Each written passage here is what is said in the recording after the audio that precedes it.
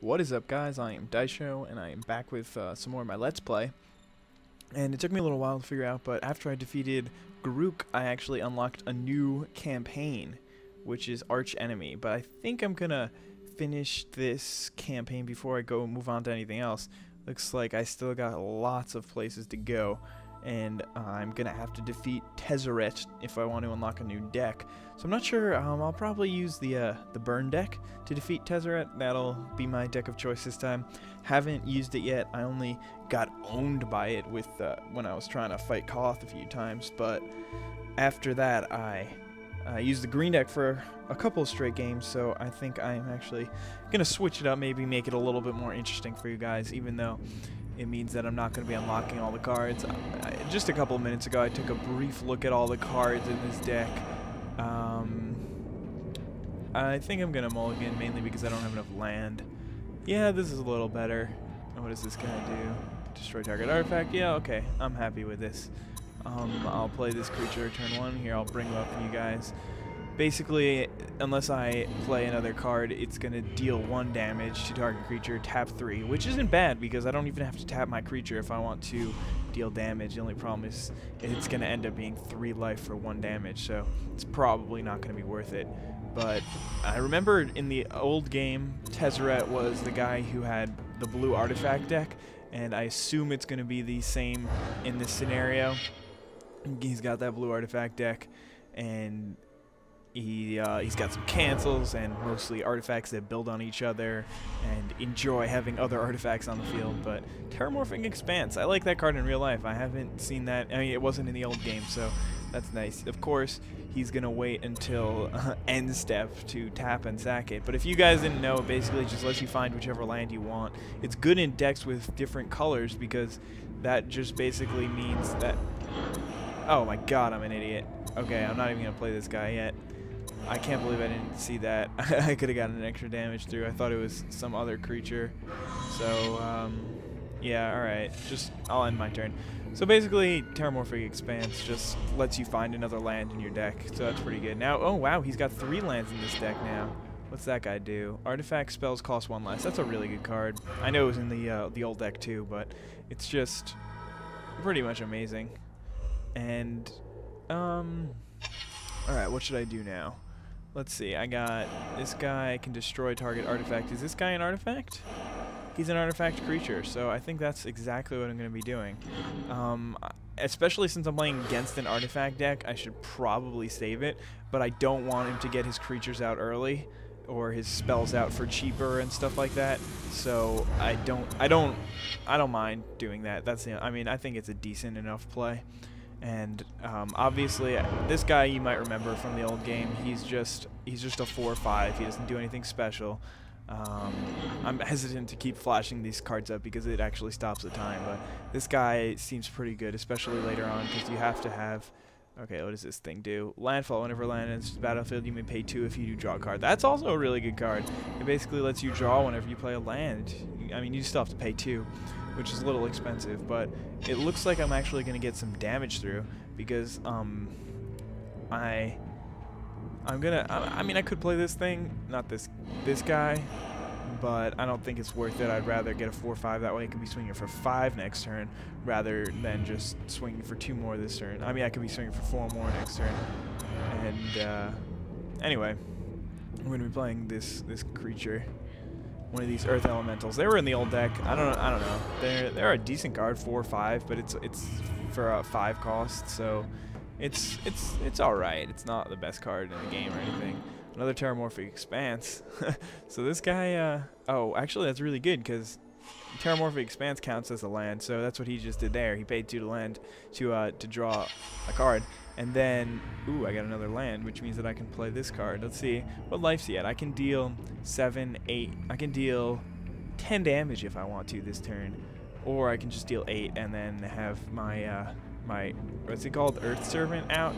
I think that's, uh, that's what I'm going to do. I'm going to play the Earth Servant.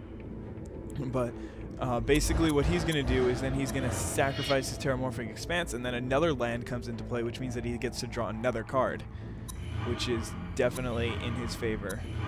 But anyway, I have pretty much intense board position set up on him. So I don't know, maybe he has a card like Evacuation or something in his hand that'll just get rid of all my cards and make me like start over or something that gives him like like there's a card called Soul Conduit which switches life totals, but I don't know. Oh, sleep. Okay, that's not bad. He's putting putting me to sleep. Basically, I can't play any of my cards. Uh, I mean, my cards don't untap this turn. Um, okay, so I have six lands, so I can either play the five Kai or the two three guys. If I play the two three guys, then I'm basically wasting this plus two plus O ability, which I really don't think is that important at this point. I'd rather just get as many creatures out as possible. Whatever, it doesn't really matter. But look at this guy. He is a 6'10 now. He's got plus O plus 1 for each mountain I control, and I got, I think, six of those guys out on the field. So definitely doing well. He's it seems like he's kind of struggling to survive at this point. He's like playing sleep, making all my creatures die. He's drawing more cards. I mean, he's definitely got a significant card advantage on me. But he's got more lands out. What is this guy? He's just a 4-4. And I don't think it's really going to matter because I got I got so many more creatures than him. I don't even need to play this card. I'm just going to swing in with uh, with all my creatures and uh, see what happens there. I mean, there's no even if he blocks my four, then I still have tons of damage. Here, let's uh, let's play with him. I'll just show you what this guy can do, um, and I'm gonna do it again. Ah. So I, I mean, that basically just allows me to deal two damage with this card, and Obviously, I didn't need to because I'm going to end up taking him way lower. But that's what I would do if I was playing and I needed more damage to get through or something. But obviously, that wasn't the case here because I brought him down to negative 12. So I don't know. I don't know why Koth was so hard. Maybe, maybe it's just this deck is really good. But that was pretty easy, and I I am definitely happy about that. I think I'm actually gonna make this a two for one episode and maybe move on to the next uh, evil planeswalker who I have to battle, and I'll stick with this Koth deck because it's uh, it's doing pretty well for me. I've defeated Tezzeret and unlocked Machinations. But first, before I have to do that, I have to go take a card out of my deck depending on what uh, what it gives me. Which card I unlock. This guy, Battle Cry and Haste. Wow, that's a that's a very good card. Um, let's go back here, Deck Manager, and let's uh, do this Strength of Stone deck and take out something. Let's find something worthless. I'm thinking I'm thinking Molten Ravager. This guy is a uh, a zero four. Where is he? How much cost is he? Did I pass him yet? Yeah, I must have passed it. Where are you, sir? No, no, no. Nope. Nope. Nope. Nope. There we go. Molten Ravager is a 3 cost 0 4.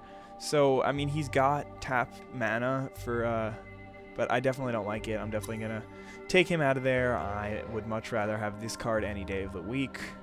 This card is, I mean, artifacts seem to be pretty strong in this in this form. Maybe I should take out the, yeah, I think I'm actually going to take out this card.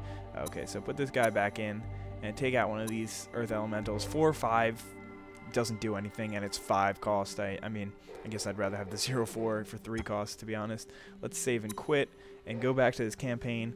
And I don't know, I'm kind of excited to try out that multicolored landfall artifact weird deck, but first I would rather fight Kiora Atua with this uh, Strength of Stone deck and see how it works out for me. If I don't, then I'm going to switch to that other deck, and it is it should be pretty cool. I am definitely going to do this in the same video. I didn't I didn't do an outro or anything, so I can't just I can't just stop in the middle. That would be evil. But uh, by the time this video goes up, you'll already have the video that I'm rendering. Ooh, Claws of Valakut. I got two of them. This is a really, really good card. Enchanted creature gets plus one, plus O for each mountain you control and has first strike. This card is amazing. And, uh, 1-1 Mountain Walk. It doesn't look like Kiora Atua is going to have any mountains, but it's a one-cost creature, and it's a one-cost 1-1, which isn't the worst thing. It's never it's never a bad thing. Looks like it drew another one of those guys. I would really like to draw at least one land. That's all I really need for now, but obviously I would like more for Claws of Valakut.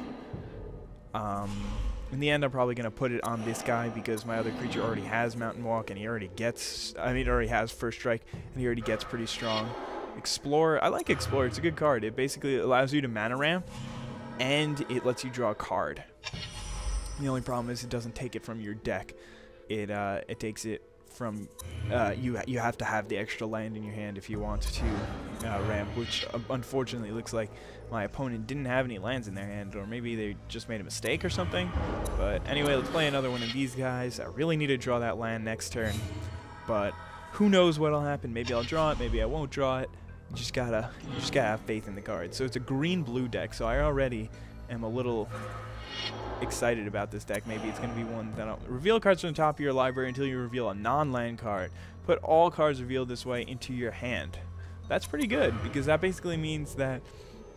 All right, one. What? Why did you get two? Oh, non-land. I don't know. Why did you get two cards? That confuses me. Anyway, now I have a, a decision to make. Do I want to play Molten Ravager? Do I want to play Rockslide Elemental?